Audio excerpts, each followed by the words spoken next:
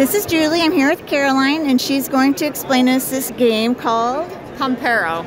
So the name's up here if you can't understand me through my mask.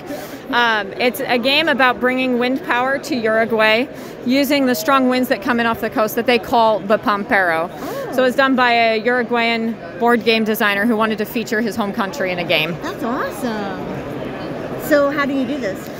Um, well, I've had a lot of people ask me how to categorize it, and there's there's a little bit of worker placement and a little bit of engine building and a little bit of deck building and a little bit of um, oh, there was one other thing. There's a little bit of something else, but it's um, also none of the above. okay. um, there's oh, area control. That was the other thing. There's a little bit of area control. Um, so you take your pieces, you take the the power towers and the windmills, and you put them on the board, and then you, pay to put them on the board, and then you take contracts from the board, and those help increase your income.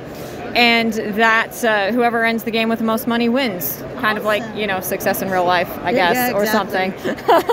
So, is this two to four players? It is one to four, actually. One to four, I like that. Um, so it's one to four players, roughly two hours. It depends on how analytical you get. I had a group yesterday of four that took, you know, three hours and 15 minutes, but one person was like, must make the best turn ever every time.